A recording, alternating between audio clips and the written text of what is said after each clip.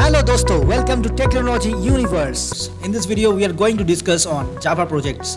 Basically on banking system, hotel management system, quiz competition system, railway booking system, restaurant billing system and school billing system.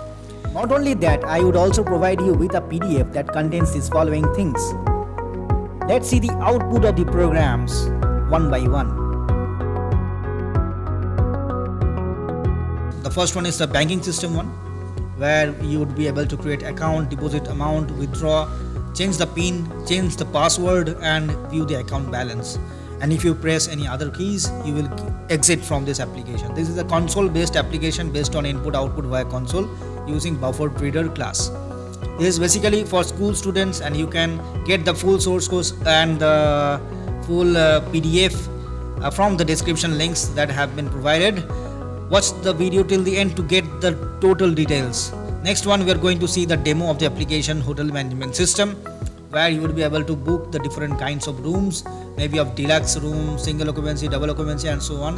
The price is chart. The first the menu is given. It's the console input program here also.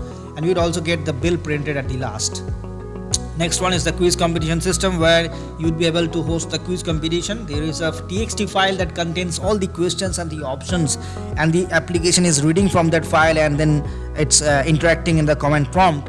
And after that you would also get a scorecard here. Isn't it a very reactive application in the command prompt?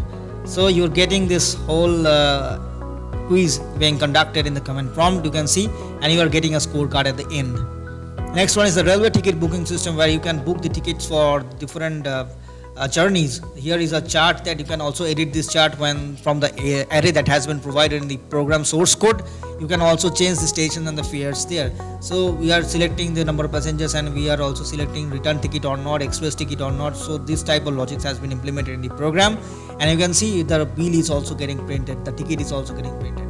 The next one is the restaurant billing system where uh, you will be able to order the foods and you can see the menu chart is also printed here.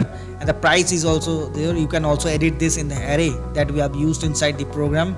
So you would be able to put the inputs like how many dishes which one you want to have and then you the bill also gets printed there.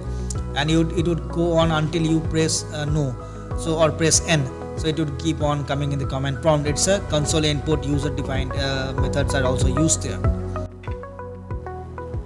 So you can see the bill is getting printed and the bill number is also generated which I have done with the help of Math.random method to generate a random integer set.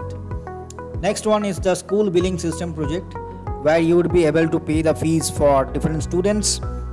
So there are a couple of inputs that are required like the registration number, the name of the student, the class, the section and based on the class I have set some logic like for students above class 8 you would be having lab fees uh, you have be having the computer lab fees and maintenance and all those stuff.